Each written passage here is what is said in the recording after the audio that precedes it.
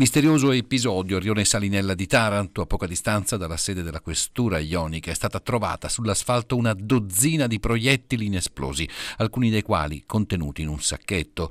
La cosa non è passata inosservata ai passanti che hanno subito chiamato il 113. L'episodio è avvenuto in via Lago di Nemi, nei pressi di un supermercato, zona molto trafficata, soprattutto durante le ore mattutine.